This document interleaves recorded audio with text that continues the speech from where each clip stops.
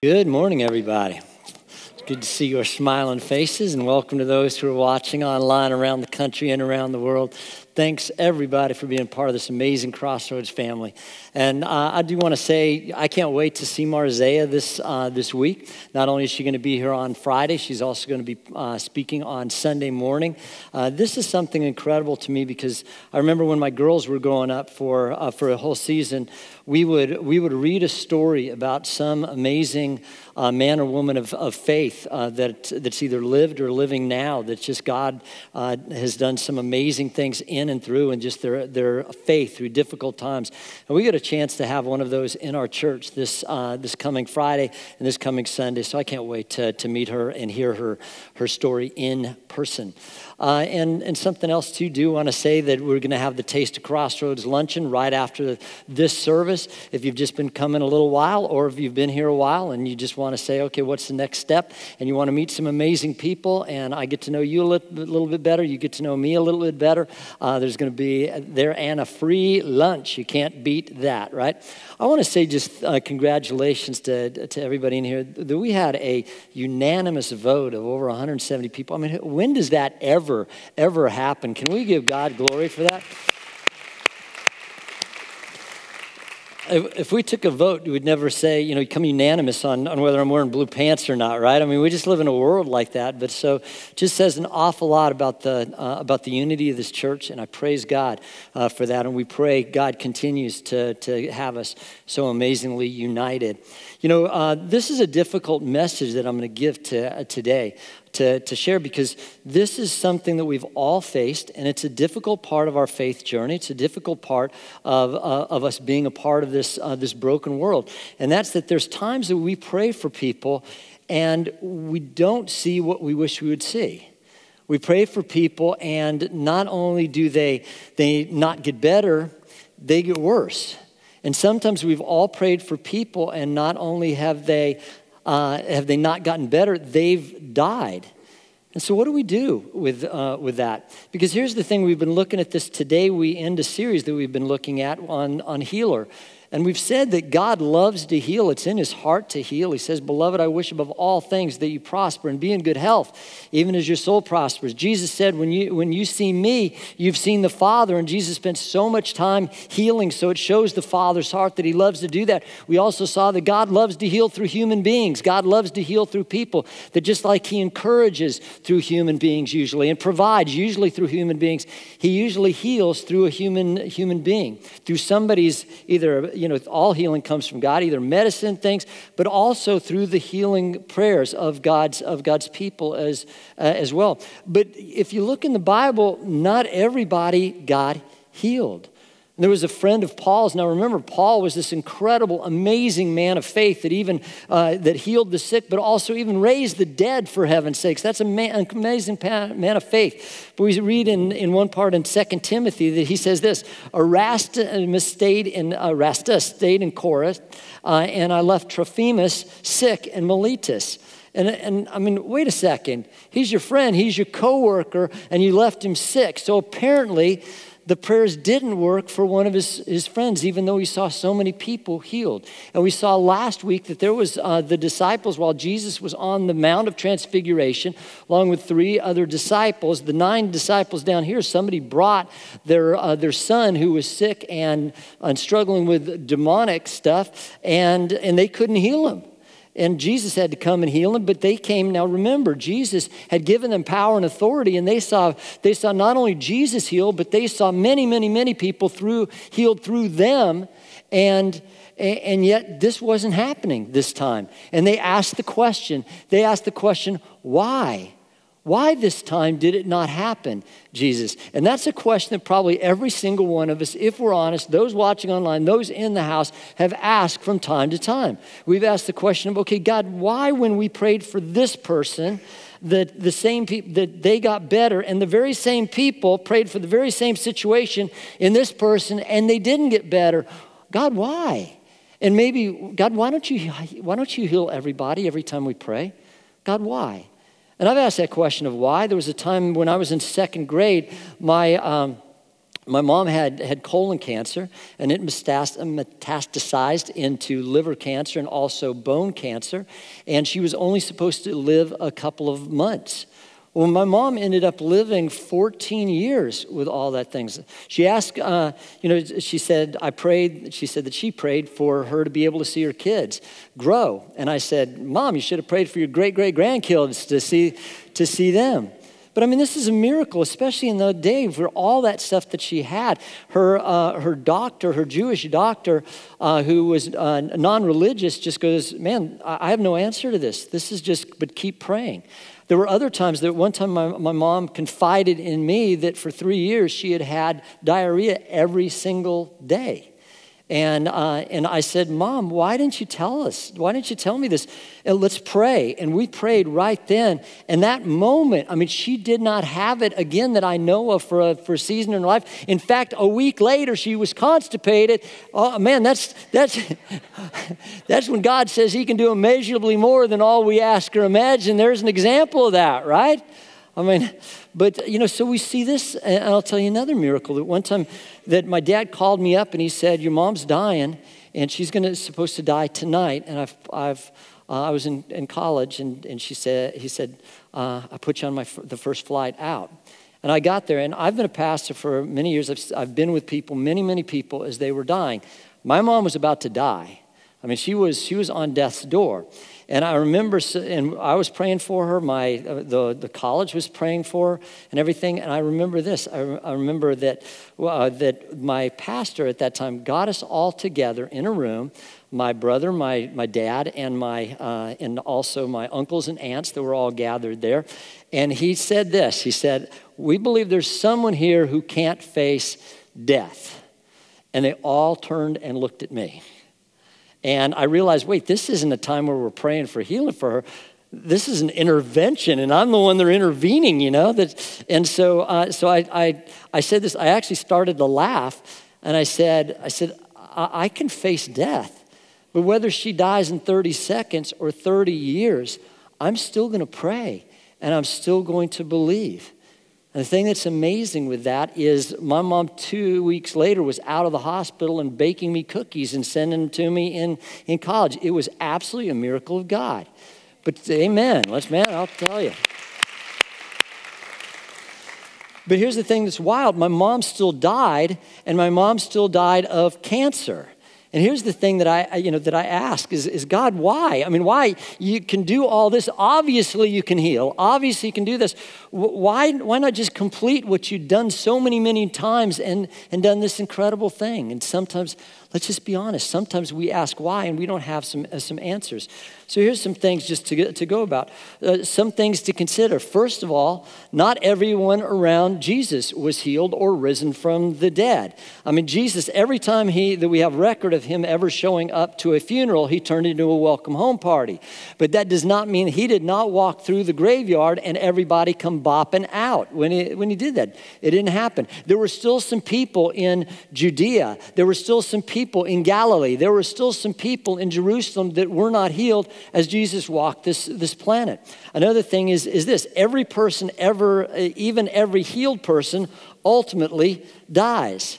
There's, uh, I, I, heard the song yesterday, Turn, Turn, Turn by the Byrds, written in 1965, that is a direct quote, almost all of it, from Ecclesiastes chapter 3 in the Bible. And it says, To everything, there is a there's time for every purpose under heaven, a time to be born and a time to what? A time to die. Wait, a time to die. So that means that means there is a time for every single one of us that sometimes the prayer is not going to be answered.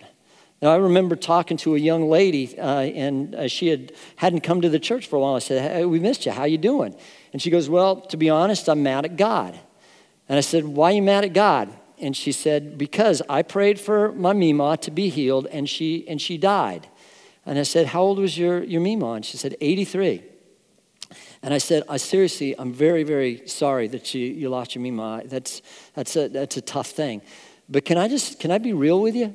And she said, sure. And I said, I said, think of this. Can we maybe even look at that a different way and say, God gave your Mima 83 incredible years, a long life on this earth. And you had all that time to the time you've been born to now to, for your, with your Mima. I said, my, my grandparents died before I was born. I would have loved to have a Mima for a little while. And you know what God did for your Mima? God died for your Mima so she could have eternal life, so she could be in heaven right, uh, right, right now. Can we maybe look at it a different way? And she was, she was at church the next, the next Sunday. But here's something too that I that I, th- I, think of is, is also everyone Jesus ever healed eventually died, right?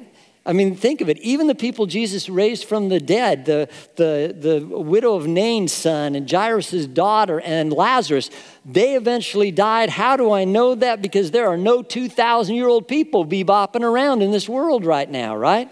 Everybody eventually, you know what that means? That means that, that even though God loves to heal and is awesome at healing and every and everything, that there comes the time where, where we just say, This is not our home. I mean, we realize that, right? We're just passing through here for 60, 70, 80, 90, 100 years, whatever it is. This is not our home.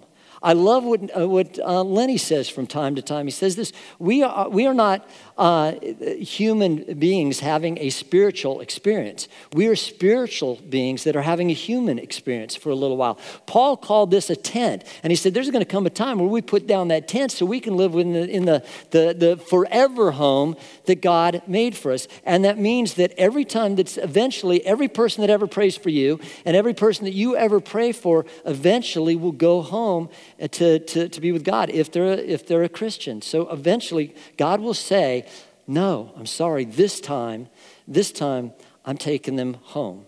And so uh, an, another thing is this ask the question is, is where does uh, sickness come from then? Where does sickness, disease, why is there that in this world if we have a God who loves to, to heal?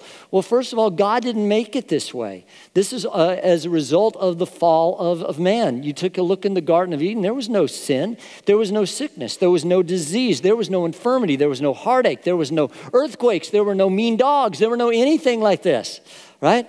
Nothing like that. Everything was incredible, but, but when, when Adam and Eve sinned, it didn't just affect their life, it affected every single one of our life, and it came down and it affected all of nature and all of creation as well. A way I could think of describing that is one time I remember that I was, I was riding a, a riding lawnmower in my first church. They had one in the parsonage, and, and all of a sudden uh, I saw, I heard thunk, and I saw this, this, this rock just head out straight towards my car. And it was like, you know, it was just that moment. It was like slow motion. That's how long it took to do that. And I wanted to go, no, you know, and grab the thing. But it was like, so it hit the back windshield of the car, and it didn't just make a hole, right? It just went kink, kink, kink, kink, kink, kink, kink, kink, kink, kink, kink, kink, right? In fact, those were the exact sounds that I had. But so, and that's what happened with, you know, when, when we blew it, is, is it didn't just affect us, it affected everything. Just like that didn't just affect that, knot, that little hole, it affected the whole windshield. Now, here's the great news there will come a time where God will put everything back into order, right? But until that time, we live in a broken world, and there's disease, and there's sickness, and there's problem, and there's heartache, and there's all that in this broken, broken world. Now, uh, Jesus uh, attributed some uh, sickness to the demonic. Now, he attributed all sickness and problems and pain and suffering back eventually to Satan. He said, It's the thief that comes to kill, steal, and destroy. I've come so you might have life and have it abundantly. But Jesus sometimes uh, pointed it directly back to, to demonic or satanic activity. An example of that was one time there was a lady with, uh, that had been crippled for 18 years. And listen what Jesus said. He said, Then should not this woman, a daughter of Abraham, whom, who it is it? Satan has kept bound for 18 long years be free, set free on the Sabbath day from what bound her. And you think about that is, is, you know, he's saying in this case, not in all cases, but in this particular case, there's been a satanic attack on this woman's health. And so, and that's one of the reasons we, we get sick sometimes. Another is some sickness can be related to sin. There was a man at the pool of Bethesda, and, uh, and G, he'd been an invalid for 38 years, and Jesus healed him. And then look what happened when Jesus saw him again. said, Later, Jesus found him at the temple and said to him, See, you are well again. Don't miss this. Stop sinning, or something worse may happen to you. Now, in, in uh, I had a friend who, who had a heart attack in his 30s because he heavily abused drugs in his, in his 20s. I have a friend who's, uh, who had a heart attack at 50 because he, he smoked for, 30, for 34 years. I have, uh, how about this? There are 19 million new cases of sexually transmitted diseases in the United States, half of which are between people between the ages of 15 and 24. Did God cause that? No. Choices caused all those things, didn't it? Sometimes our choices can cause pain and suffering and even disease in this, uh, in this world. Another thing is that uh, God also makes it very clear that a lot of sin has nothing to do with personal sin whatsoever. In fact, there's this incredible story in the middle, just about smack dab in the middle of the Bible. It's the book of Job, and a guy named Job. He went through absolute hell, physically, emotionally, everything. I mean, this guy went through horrible, terrible times. And here's the wild thing is God says, makes it clear, he did nothing wrong. In fact, God goes out of his way to say, There's no one like this guy. This that man Job, he loves me more than anybody else on the face of this planet. That guy Job, he follows me closer than anybody else on this planet, and yet all this happened to, to him. He did nothing wrong. In fact, his friends came up and said, Well, obviously you're doing something wrong because otherwise you wouldn't be sick. You wouldn't be having this problem. So obviously there's some sin in your life that you need to repent of. And you know what? God, at the end of the story, he basically says to those, those guys, the friends, shut up. You have no idea what you're talking about. You have no idea what you're talking about. That sometimes it just happens because, again, we live in a broken world. And look at this. In Jesus' day, people believed that, that if somebody was sick, somebody sinned somewhere. And look at the disciples said this. As they went along, he saw a man born, a man blind from birth. His disciples asked him, Rabbi, who sinned? This man or his parents that he was born blind. In their mind, it had to be somebody. It had to be either him or his parents. Somebody sinned. And look what Jesus said. He said, Neither this man nor his parents sinned, said Jesus, but this happened so that the work of God might display, be displayed in his life. Jesus dismissed the common opinion of his day that saying sin was always a result of, of some, or sickness was a result of some sin. In fact, the way I read the Gospels, Jesus seemed to go out of his way to show God especially cares for the broken, and especially cares for the hurting, and especially care for the sick, right? And, and here's the, the, the truth is faith is extremely important when it comes to, to healing and things. That's a biblical fact. Give a couple of, uh, and many times Jesus attributed healing to the, the person's faith.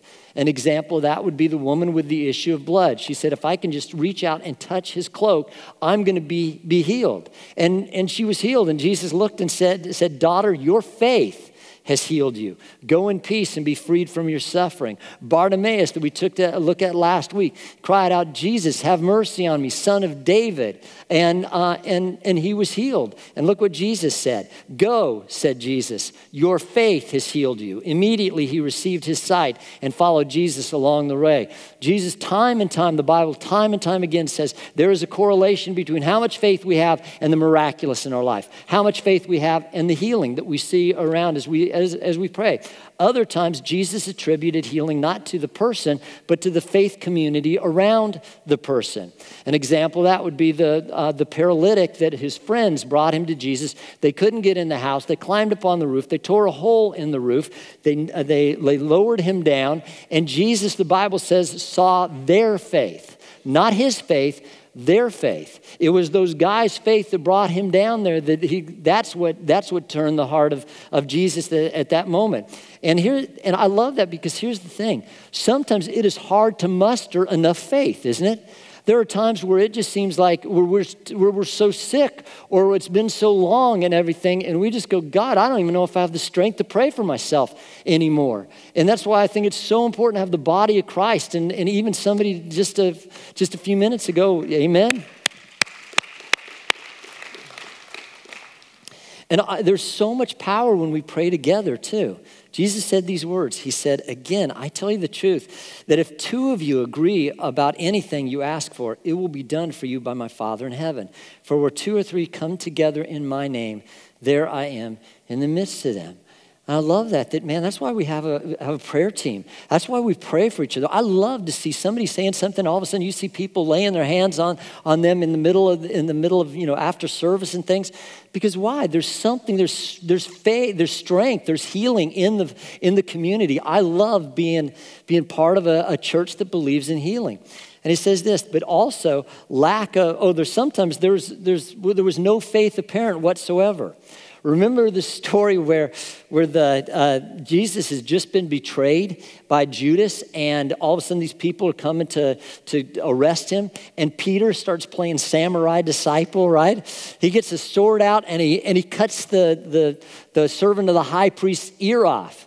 Now, to make no mistake, he missed. He wasn't going for the ear. He was going for the head. He was trying to lop off his head. He missed. And then here's the part that gets me is Peter cuts off a guy's ear and then asks Jesus if he should use the sword. How many of you know that if the guy's ear is laying on the ground, it's a little too late to ask the question, right?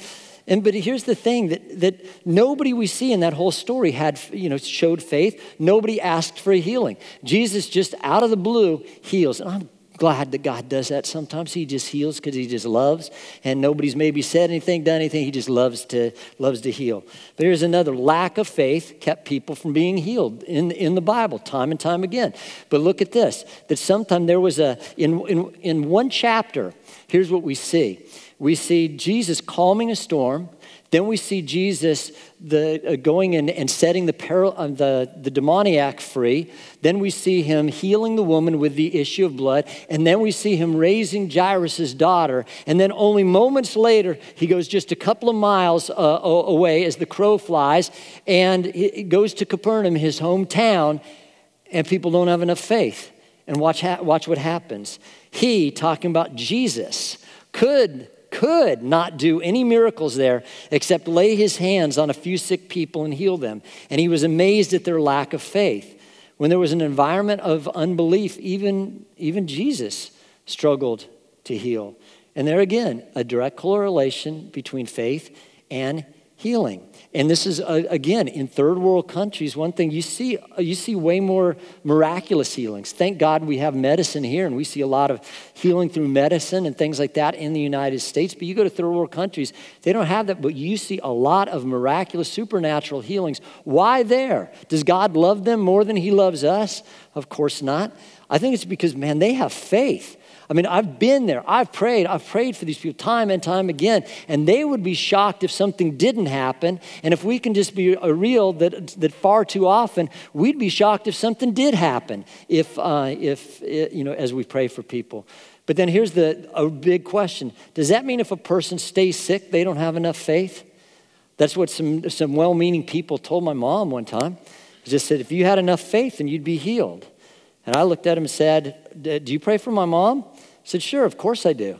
Well, then how come your faith hasn't healed her? Maybe you don't have enough of faith. That's a, that's a heavy load to put on somebody saying if you just had enough faith. And it, because here's the thing, too, we don't see that in the Bible. Of course, we see, I said we see a correlation, but sometimes we don't okay? Sometimes we don't because, because Paul, again, he has all the faith in the world. There's barely ever been a person that walked this planet that had more faith than this man. When you see people raised from the dead, you've got some faith. But at the same time, we just talked about one of his friends that wasn't healed. There's another one, his protege, who was Timothy, was uh, the, uh, uh, it says this in the Bible Paul says, drink some wine. Don't just drink water because of all your ailments and because of your stomach problem that you have. And apparently, again, here's his friend that's having stomach problems that obviously he's prayed for, that wasn't healed, that's still struggling with things. In Paul's own life, we saw miracle after miracle. One time he is grabbing some, some wood, and a viper uh, goes and, and, and bites him there,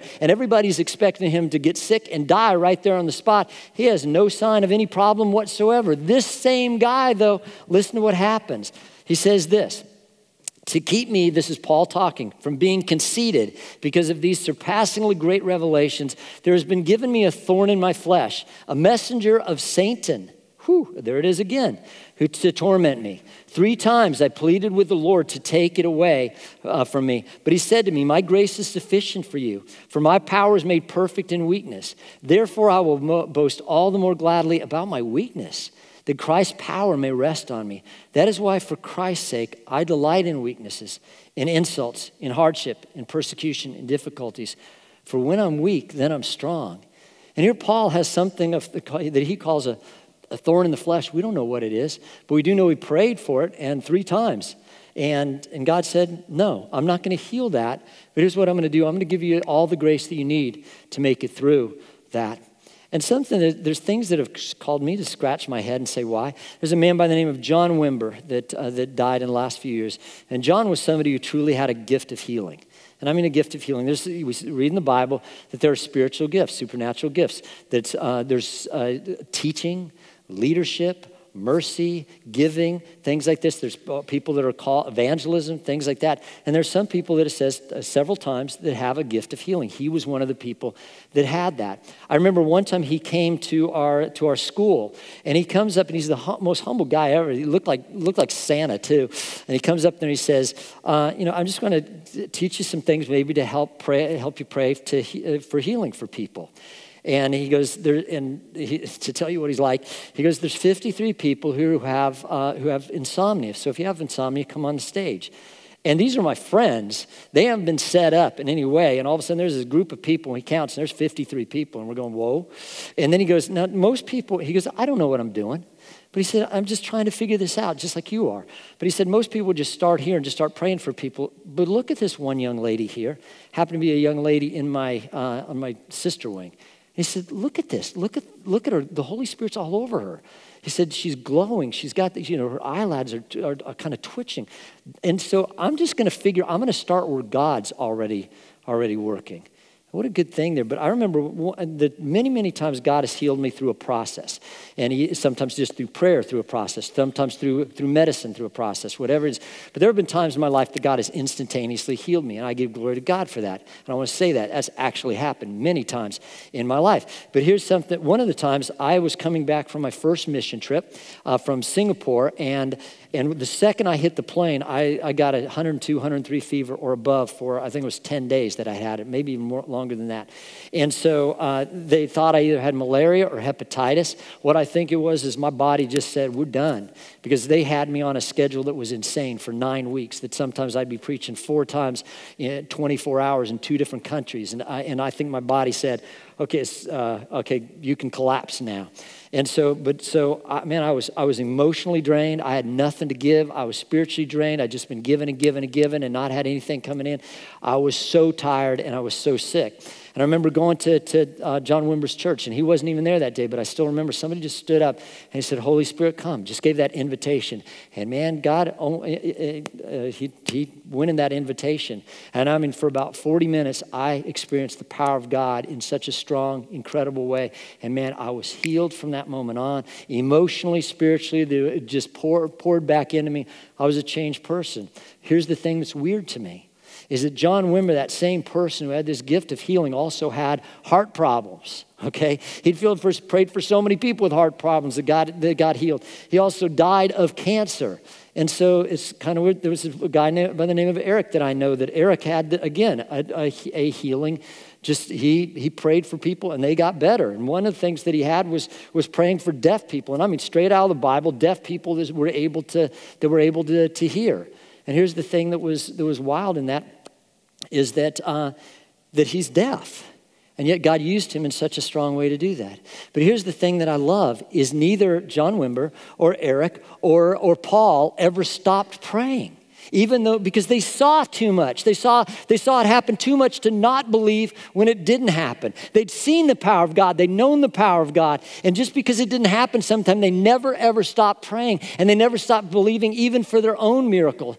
And we had a, a dear, dear friend and brother that about 16 months ago went to be with the Lord, and uh, Walter Charles. And here's a testimony shortly before he died.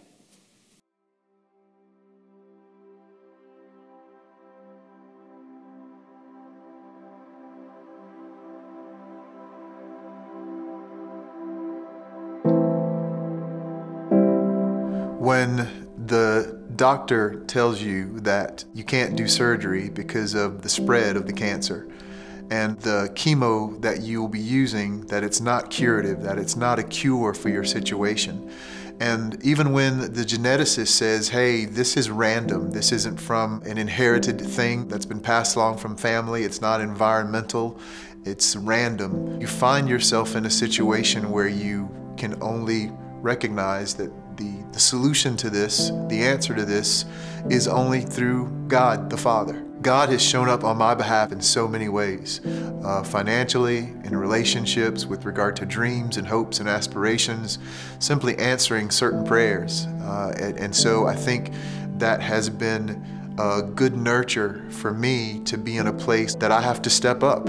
Uh, when I identify myself as a follower of Christ, a disciple of Christ, a Christian, uh, I don't have any other choice than to believe in the promises of the Father, to, to, believe in the scriptures, to believe that the one who says he's with me to the end of the age is with me now. When tidbits of your life start to look like bits of Bible stories or the testimonies of those who have come before you, you have no choice other than to walk in the belief and the confidence that one, God is sovereign, that you are His and He is yours, and that His promises for you are true. By His stripes, you are healed. It's His desire that you would prosper in health in all things as your soul prospers. It's His desire and it's His promise that if you ask, seek, and knock, uh, He will answer that if you uh, delight yourself in Him, He would give you the desires of your heart. And so when you begin to think about your relationship with the Christ and the study and the believing and your immersion in that relationship with Him,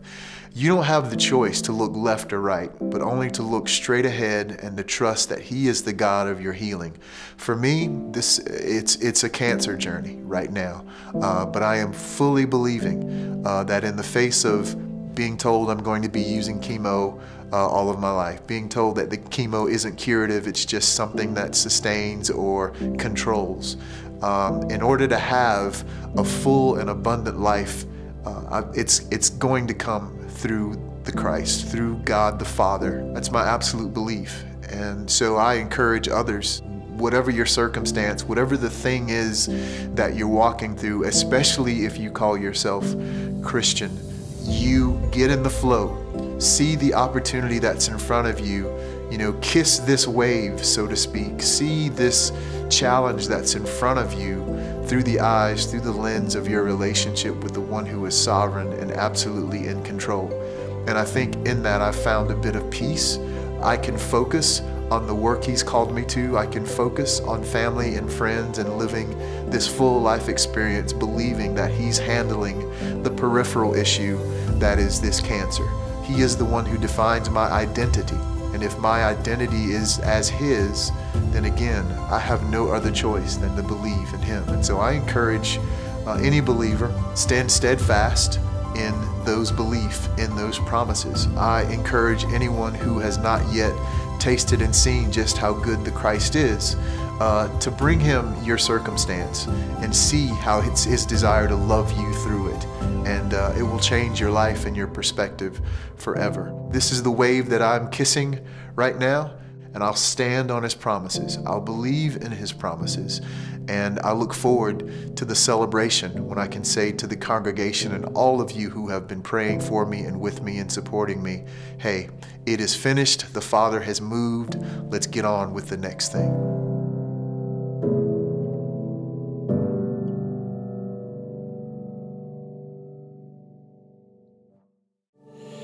Miss my brother and my friend a lot. Here's what I can say is he he never lost faith in what God could do. And even though it, towards the end of his life, you know, he's always continually praying for other people. And I know that because I was I was there for a lot of that. I was there when he gave his, his last breath. And I, will I'll say something is, is he never got lost faith in God. He never said, well, here, I'll pray for you, but it doesn't work. Uh, just because he wasn't seeing at that time in his life. He'd seen so much in his life that he still believed, that he still prayed and did that. I love something that he said that I look forward to the day when we can celebrate with him that it is finished. The Father is moved let's get on with the, the next thing. And you know, for, for him, you guys, it's finished. For my mom, it's finished. I love this. That we serve a God that, that it, it didn't happen the way I wanted it to. It didn't happen the way we wanted it to, but it happened. He's totally, completely, forever healed. Not just for a moment on this earth. Amen. Is that not? And here's some of the greatest news you will ever hear. For the Christian, he always heals. Sometimes here and sometimes in the resurrection. But there will always be a time. And when it happens here, it's just for a little while. When it happens there, it's forever. That, that we, there will be a time we will never have pain again. We will never have sorrow again. We will never have a broken heart again. We will never have any issue, any of those things ever, ever again. That's for the for the Christian. So we can trust in God. And here's the thing: I don't have all the answers. I don't. I never will. I, I, I struggle with things just like you. But here's the things I know that I know that I that I know is first of all that the God's ways are not our ways. He says this as the as, as the just my thoughts are not your thoughts and my ways are not your ways as the heavens are above the earth think about how high that is so are my thoughts above your thoughts and my ways above your ways here's the thing god's ways are never ever wrong ever our ways are usually or oftentimes wrong and God's, God's ways. And that doesn't mean we're going to understand them all because we're not. We're not going to understand this God that's, that's so, so amazing. But here's the, what the Bible says to trust in the Lord with all your heart and lean not to your own understanding. Because that, you know what that is? We don't have to figure it out because He already has it figured out. And the other thing is this that God is good. That's the other thing. I know that God is good. He doesn't just do some good things, He is good. He, and you know what that means? He can never, ever do anything that's not good. Nothing that he will ever do, has ever done, or ever will do is not good at its, at, it, at its core. And the other thing is, is, is this that God loves you and he loves your loved one more than you do. Remember, there's a time that um, when I was, when my mom was, was struggling with cancer towards the very end. And I remember being woken up in the middle of the night with a scream that did not sound human. And I remember going into the, the restroom as my mom was crumpled on the, on the floor. And I, I bent down and I, I, I picked her up in my arms, and she was so hurt from because of the cancer in her bones. And I, and I remember looking up, and I didn't, I didn't scream this out loud, but I screamed it as loud as I could humanly say it inside my heart and in my mind. I said, God, where are you? And maybe you've, you've asked that same question from time to time. God, where are you? And I'll never forget, I got the answer again. It was not audible, but it was screaming in my life. It was spoken nicely, but it was loud. He said, I'm right here, and I love your mom more than you do. And something changed in my life right there as I was praying for my mom and realized, man, God, uh, yeah. I mean, if my if my love for my mom's a little thimble, God's love for my mom was an entire ocean, and I can never understand. But at that moment, I can go, God, even when I don't understand, I can I can trust you because there's something else. Not only does God God love your loved one more than you do, God has more invested in your loved one more than you do. You didn't create your loved one right? You didn't create your, loved one. God, God did. And, and, and you didn't die for your loved one. God did. But here's the great thing is that God, for those of us who are Christ Jesus, He did everything He could to provide a way where this will not always be like this. That there is a heaven, that there is complete and total, a new body, a new restoration with no disease, no struggle, no anything like that. So until that time, amen. So until that time, we may not have all the answers. We trust in the one who does. And we keep praying and we keep believing because I believe in prayer. I've seen it happen too many times. I've seen God do miracles. I believe in miracles. I don't understand why they don't happen all the time, but I'm going to trust in the one who is always good, who always has our best interests in mind, and who loves us and our loved one more than we love them.